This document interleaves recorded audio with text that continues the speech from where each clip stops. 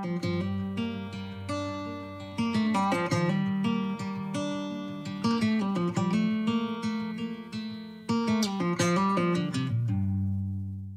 I'm just packing up for Man v Horse and I've had quite a few requests as to what I currently feed the horses so I thought I'd do an updated feed routine um, as I pack. So I'm going a few days in advance. My parents live not far from Man versus Horse but they live up the mountain so actually it's going to still take us about two hours from my parents' house because I don't want to go over the mountain pass because it's very windy. It'll take a long time in the trailer, probably longer than going the long way around. So Anyway, I'm taking Estrid and Tissy because I'd like to take Estrid through the hills and it's a good opportunity for her to, you know, go out and about and travel a bit more, see a bit more.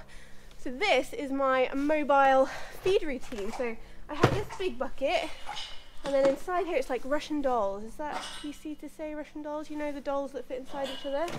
We have a big scoop. We have travel supplements and a travel cup and then basically we just continue down through different sizes of bucket until you get to the smallest one.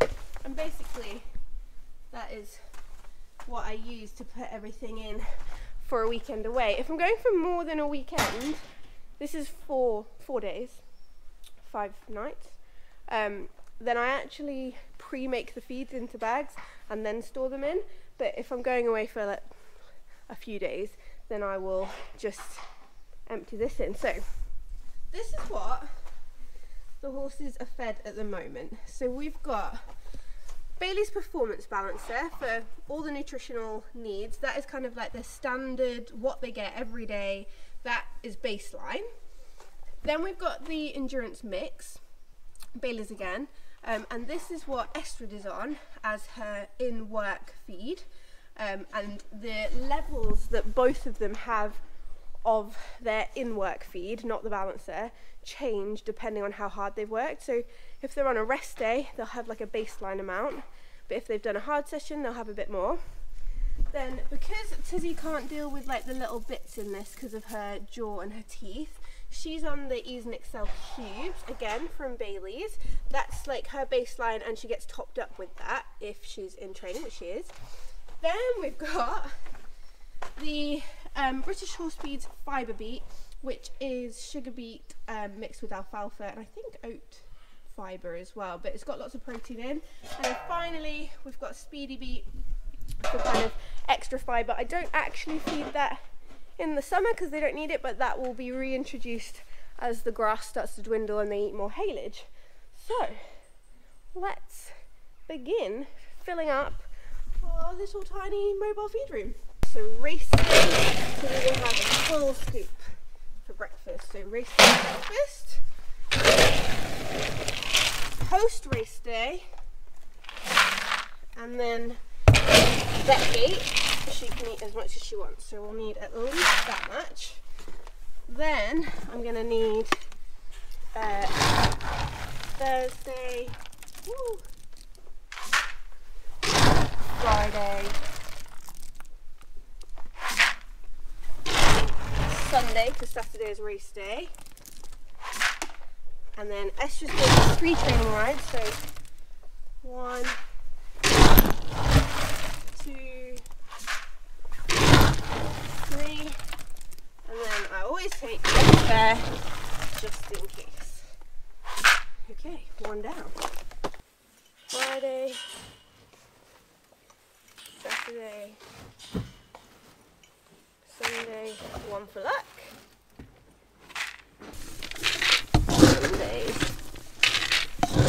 One for luck feed is in. The van is starting to take shape, but we'll go through all that when it's finished. But I've got most of the stuff all packed now. So it's just a case of getting the ponies, hitching up, loading up, four hour drive home. Two grey ponies loaded up. Go man versus horse whistle some hills, Estrid.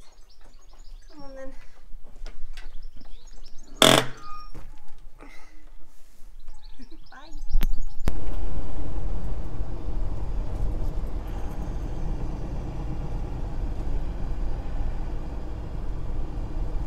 Almost home, girls. We made it! Yay! Four and a half hours later. Um, it's the morning after. They're over there in the field somewhere. Um, Maeve gave me a little bit of a stressful journey because she started making an odd noise. I took her to the garage this morning. They were so nice to actually um, have a look at it because they were super busy, but she wasn't doing it and I've taken her for a spin this morning she's not doing it so now I'm really nervous about actually getting to Manvers' horse because it's about a two hour journey from here and I might be being really paranoid and being really extra but I think I'm going to get my brother to follow us in another tow vehicle because I just I just want to get there. And I've got another ride next weekend so I really don't want her to break down. Oh anyway we're here. We made it. The horses are fine. Um, and I'm now going to unpack and then repack fill up all the stuff for the race um, make sure we've got everything. So oh it's quite windy. I hope it's not mainly oh wind you can hear let's go around the corner so this is a little bit unusual in the setup. So the vet gate is really far away from where you park. The start and the vetting at the start is really far away from where you park. So we've got a few unique um, carrying devices set up ready to get water to where we need it. Um, but first of all, let's unpack Maeve and Libby the trailer and then sort everything out and repack it all this is it. This is this has been in preparation, I would say decades. My mum used to race an endurance, actually sorry mum, like a good two decades ago. And when I was little, I couldn't carry as much, or when I was littler, I wasn't as strong as I am now. So dad devised this backpack. Let me give you a, uh, a good shot. Put you on there so you can see. Look at this bad boy.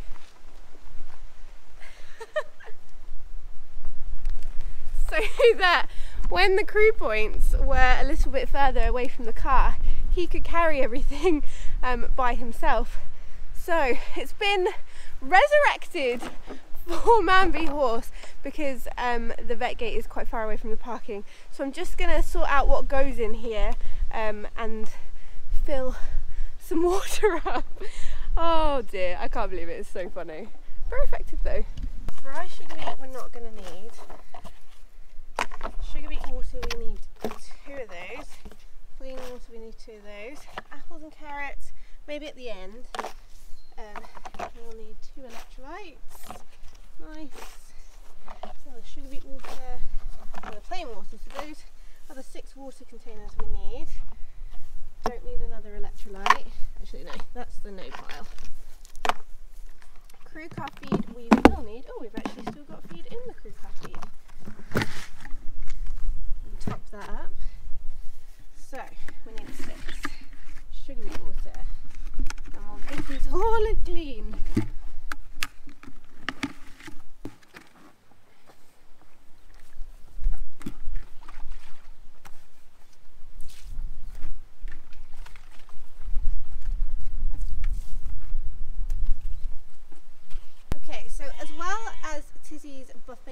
Um, I've got this big bin, which is about two gorilla tubs worth.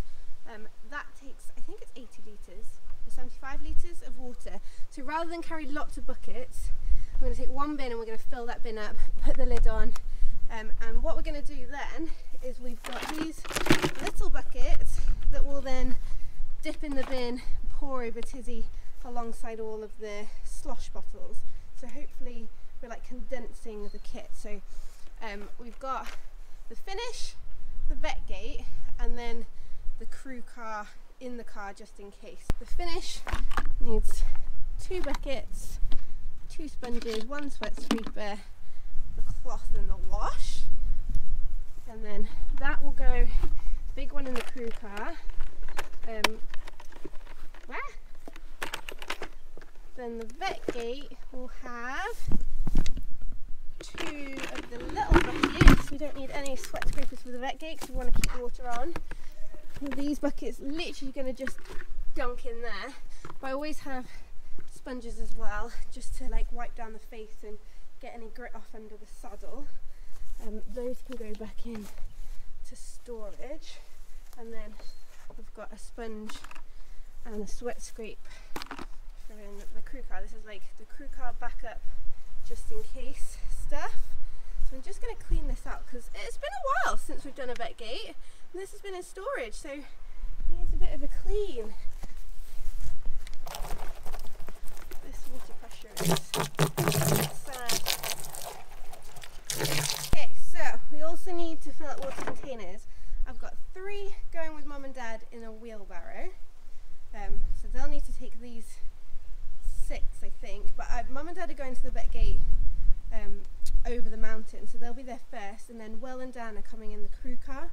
So I'm going to split the stuff that is in the vet gate between them, just in case something goes wrong. And then at least there's something going to be there.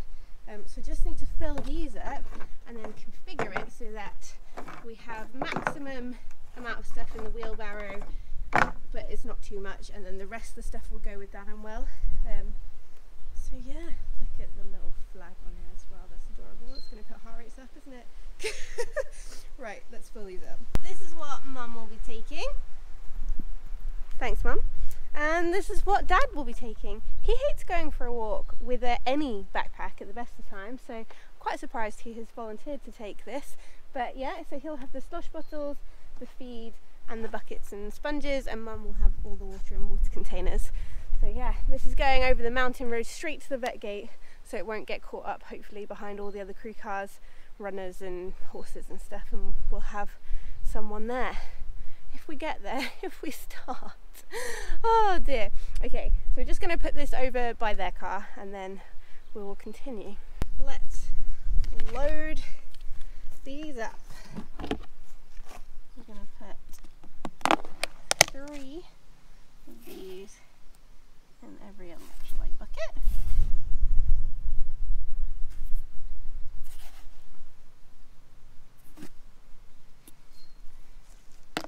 And then the sugar beet bucket.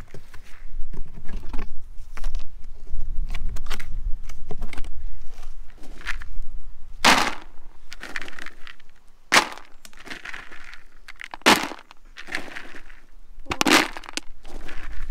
five, six. Okay.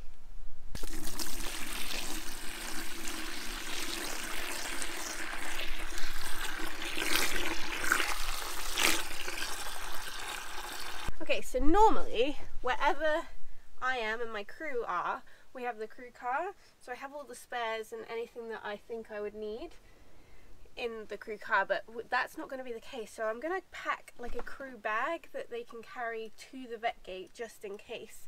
Um, so if we get vetted out and it's raining, I want her to have a waterproof um, and also a cooler rug. It might be absolutely boiling and we don't need these, but you know, I want to look after my whistle. So they'll go in the bottom. Um, then I'm going to put in a bit of baler twine and some duct tape because if we can't fix anything with them, then it's not going to be fixed. Um, things that I can't fix with baler twine and duct tape and I need to carry on are probably my stirrups and Tissy's girth and they're easy to take so we'll pack those. Um, a lead rope for the vetting so although my re- reins can be used as a lead rope always handy. Then the stethoscope to do the heart rate, the heart rate monitor that will go with the watch that I'll be wearing. That can go, actually those two can go there because we'll definitely need them. Then boots. So Tissy's going to be wearing boots. I'm going to put in, where's the, this one's pal? There we go. So spare boots. I almost forgot about me. I'll have a water bottle on my saddle. So I'm going to pack a Lucozade and a Y food for me. Tissy will have her vet gate food. I think that's all we need. Rugs just in case. Things to repair stuff. Stirrups and a girth because we can't really repair them with anything else. If my saddle fails then we're screwed basically and I'm not doing it bareback. Um, spare boots in case these ones get super gritty and dirty. That'll do. Heart rate stuff. Cool. Everything else, I mean it's only 35k. This is over preparation at its finest. but fail to prepare, prepare to fail. Now the place where we tack up and vet is nowhere near where you drop off the trailer.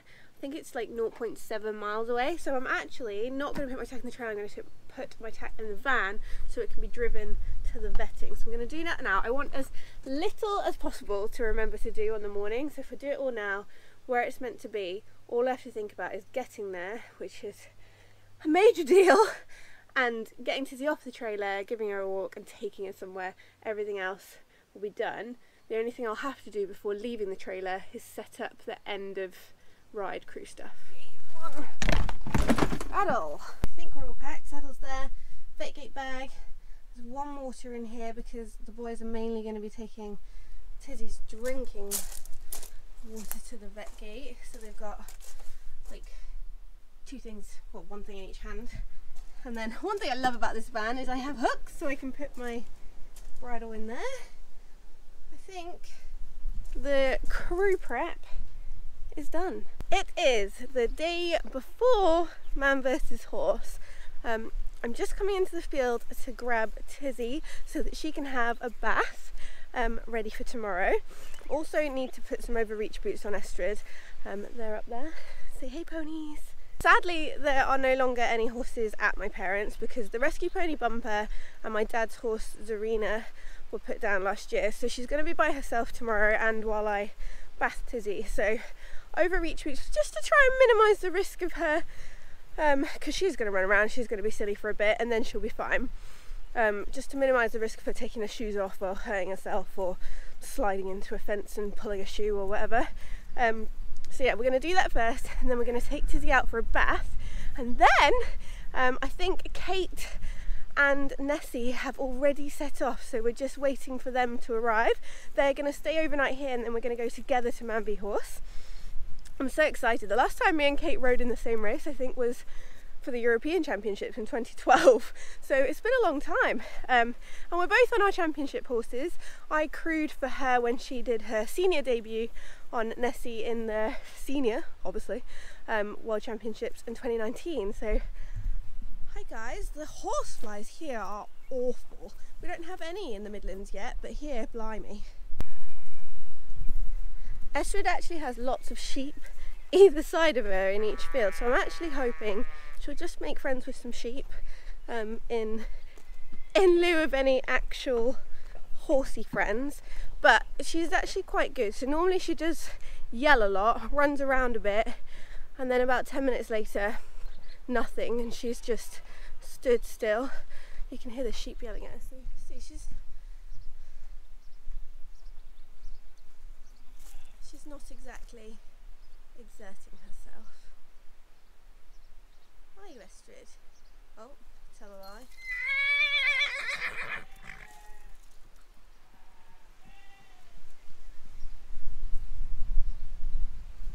You'll be fine, Estrid. We'll be back.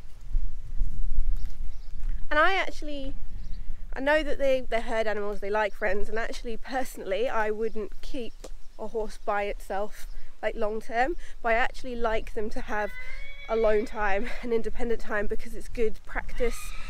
Tissy, don't wind her up. It's good practice for rides and not getting attached to other horses and taking them out by themselves. Joe, it's part of their job. So, right, let's take the zebra off.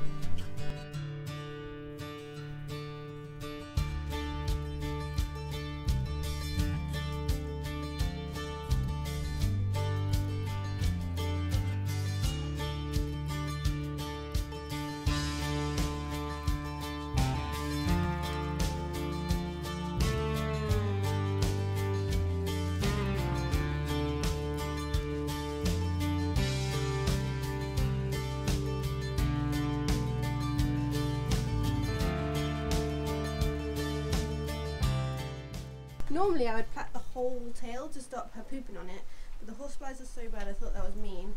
So I've given her tail to swish with still, but I've patted that bit so it gets out of the way because she always poops on her tail. And we have 1, 2, 3, 4, 5, 6, 7, 8, 9, 10, 11, 12, 13 flats. Unlucky for some, but I my first ever ride number on Tizzy was number 13. Um, and all her big competitions ever since, I've tried to do 13 plats. I don't space it out. I just I know her mane well. Um, and if it is, I'm not superstitious, so if it isn't 13, it doesn't matter. But when I get to 13, I feel like, mm, yes, this is a good one. Doggos, Dee, will this be your first crewing assignment? I know, Sausage, you'll still be the number one crew dog. Hey?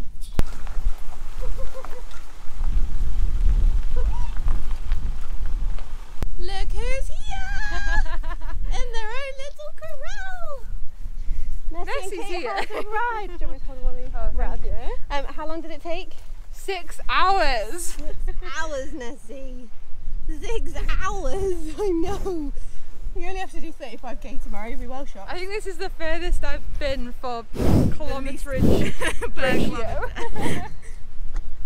Estrid is already trying to make friends over there.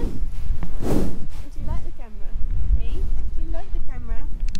Dan has made us all lasagna for tonight. So we're having our own little pasta party and we shall talk tactics, vetgate, vetgate routines and logistics of tomorrow because we're cool like that. Before we eat and have lasagna and talk tactics, it is time to feed the ponies. Um, I do give a bigger feed the night before a race. I kind of gradually increase um, over the week, a bit like a human would kind of carb load. Um, here they come in the sunshine. Can you even see them from here? Probably not. I'm really excited. A little bit nervous, but really excited. It's so nice that Kate's here too. Um, and that we're kind of experiencing this together for the first time. She is the reason actually that I entered in the first place um, because she was like, let's do it. Let's have fun on our veterans and do something different and new and slightly less pressure than FEI. So, well, I don't know actually, I feel quite a lot of pressure right now. Hey, girlies! Right, Estrid, which one's yours? Estrid, here's your dinner. Whizzlebat, a dinner of champions. Here you go. Horse flies, I tell you. Awful, aren't they? There we go. Our very own Man v Horse Pasta Party. Think of your bones, Kate. Have a look. Pasta cake. Everyone's got their jobs. Will, what are you doing? lasagna. But, but, I'm, cl- I'm clipping on from the right hand side. what are you doing? At, at Club Tropicana. No, what are you doing in the Oh, vet uh. I'm I'm right hand side saddle off onto tub and cooling the right hand side. Mum, what are you doing? At drinking bud. No, Um. what are you doing in the vet gate? Taking boots off and checking feet. Dan, what are you doing? Dishing up lasagna, in the vet gate. heart rate monitor, and then left hand side watering the her down. Excellent, guys. What are you doing? I'm riding. I don't know what I'm doing. This is his first time crewing, isn't First it? So, learning from maybe the best, maybe the best. Uh, Andrew, oh, Questionable. Andrew Atkinson's there, so there's the Oh best is yeah, around. your mum and dad are They coming are. through, Uh, aren't they? So we're actually going to leave you on a cliffhanger, and next week, hopefully, will be man versus horse.